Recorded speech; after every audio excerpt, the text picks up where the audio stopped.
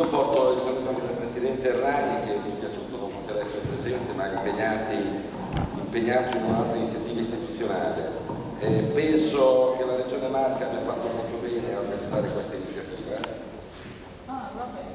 Eh, è un tema scottante che abbiamo sul territorio. Eh, non è affatto concluso rispetto ai provvedimenti legislativi e tra l'altro la Regione Marche essendo capofila dell'assessore regionale al commercio eh, organizzando questa iniziativa concludendo questa iniziativa possiamo decidere come diceva il Presidente Spacca adesso le iniziative da portare avanti anche in sede parlamentare.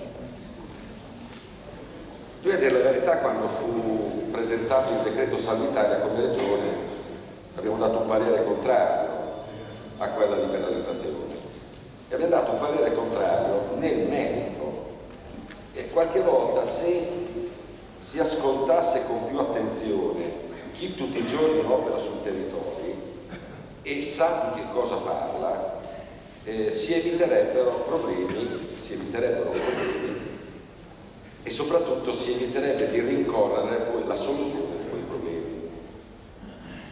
Perché abbiamo dato parere contrario l'abbiamo dato nel merito perché eravamo convinti che non avrebbe prodotto nessun aumento del PIL. Allora ricordo che fu presentato quel provvedimento all'interno del Salvo Italia con un incremento del PIL dell'1%. Quella cosa lì non ha prodotto assolutamente niente, né l'1 né lo 0,1, ma creava problemi e disagi. Già con le liberalizzazioni di Bersani noi avevamo trovato un equilibrio. Ad esempio nella mia regione, la regione Emilia-Romagna, la nostra legge regionale prevedeva 10 chiusure obbligatorie, poi ogni territorio comune turistico poteva andare in deroga rispetto a quelle 10 giornate. Per cui ad esempio è del tutto evidente che il 15 agosto, che era tra le 10 giornate che si chiudevano, non si chiudeva sulla costa per ovvia ragione, ma in accordo con le associazioni di categoria, con le organizzazioni sindacali e c'era una forma di concertazione direi forte, che ci permetteva di gestire in maniera adeguata questi tipi di aperture. Secondo aspetto che eravamo contrari è perché toglie alle regioni, ma soprattutto ai comuni, un ruolo regolatore di condivisione con gli operatori commerciali e con le organizzazioni sindacali.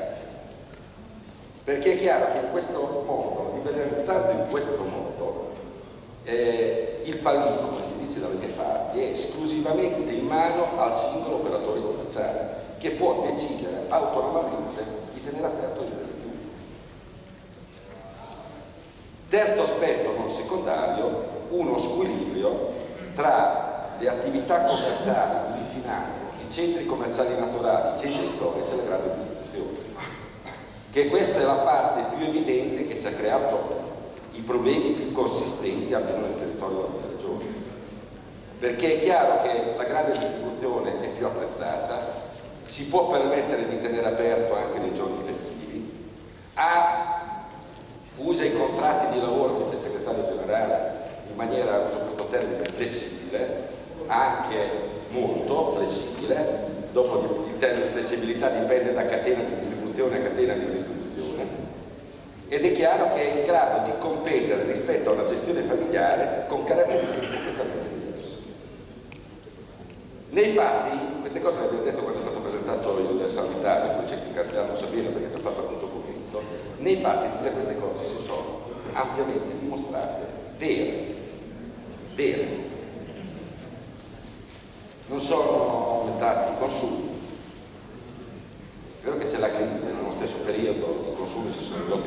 10%, essendo una media ci sono consumi che si sono in maniera ben più pesante, quelli alimentari ovviamente non di questo livello.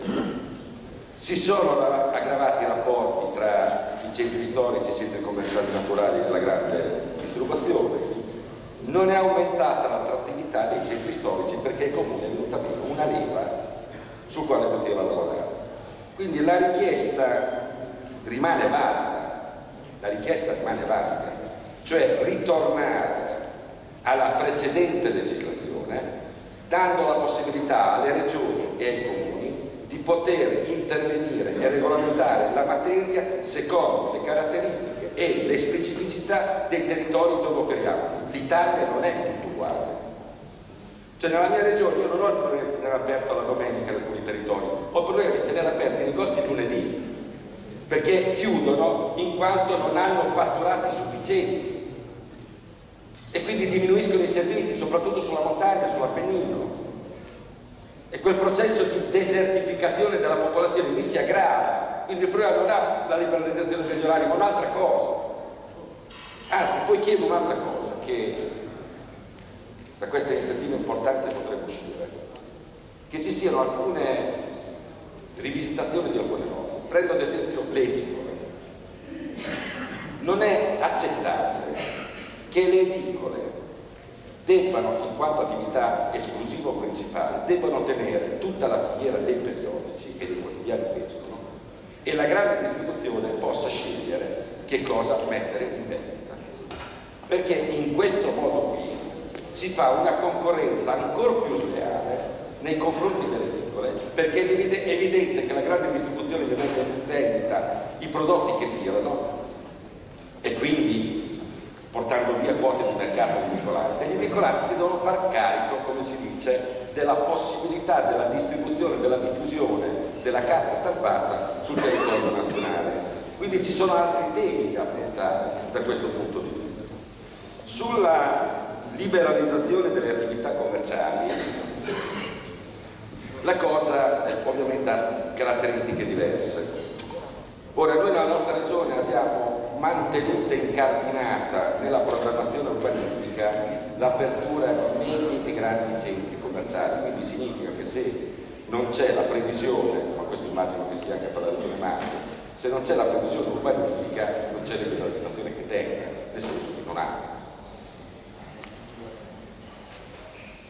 Non, non è un dettaglio perché a un certo punto della discussione sembrava che eh, ci fosse anche questo tipo di liberalizzazione, noi abbiamo insistito nell'incardinare dell'urbanistica, l'urbanistica credo che sia un potere magnifico di come vogliono organizzarla la propria comunità e quindi è del tutto evidente che questo tiene. E quindi da questo punto di vista la liberalizzazione non c'è, ma c'è nei negozi di vicinato dove c'è la destinazione urbanistica congrua, c'è la liberalizzazione, quindi non c'è più distinzione tra alimentare e non alimentare, c'è per le piccole strutture commerciali nel momento in cui c'è la comunità economica e urbanistica. Soddisfatto? No, io non sono soddisfatto neanche di questa liberalizzazione perché c'è un problema che da questo punto di vista. Il comune non ha nessuno strumento in quanto non vede più il passaggio di attività commerciale perché è una comunicazione, non ha più nessuno strumento per intervenire in progetti di riqualificazione di aste commerciali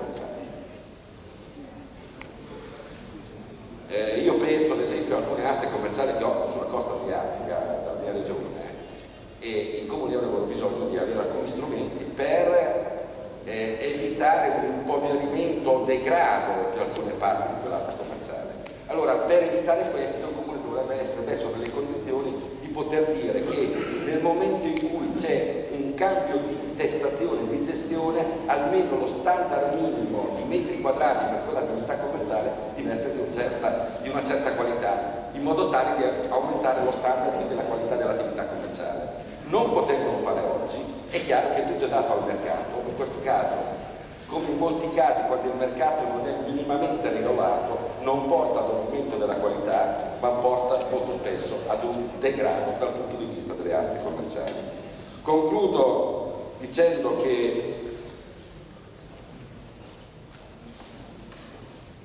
eh, semplificare e liberalizzare come principi vanno bene e occorre fare tenendo conto delle realtà. Ridurre gli adempimenti burocratici va benissimo, ma anche da questo punto di vista è importantissimo mettere tutti sullo stesso piano, mettere tutti sullo stesso piano. Eh, ad esempio abbiamo problemi che riguardano gli hobbisti, eh, anche qui l'abbiamo trattato, che è una forma di commercio, cioè non è un hobbismo di uno che ogni tanto si svuota la cantina o la soffitta e, e fa il mercatino, no, stiamo parlando di una parte consistente di hobbismo che è una forma di commercio camuffato e dove non c'è nessuna regolamentazione a livello nazionale. Cioè anche questo è un aspetto non secondario. Le distinzioni che ci sono tra una funzione artigianale di somministrazione di cibo e bevande e una eh, somministrazione di cibo e bevande che invece è incardinata in pubblico esercizio la sorvegliabilità che deve avere una discoteca rispetto a quella di un ristorante, la sorvegliabilità o le norme di sicurezza, penso all'antincendio. Io ritengo che se ci sono mille persone in una discoteca o mille persone in un ristorante, le norme di incendio dovrebbero essere le stesse. Cioè, penso che invece di liberalizzare all'ingrosso, se si affrontassero i problemi di fare in modo che la concorrenza sia reale e paritaria, dove ognuno ha le proprie regole, ma in quell'ambito le regole sono uguali per tutte, credo che potremmo fare un passo in avanti. Eh, io sono d'accordo con il Presidente Spacca sulla Bolkestein, non particolarmente d'accordo, perché noi l'abbiamo già affrontato in questo modo sugli ambulanti.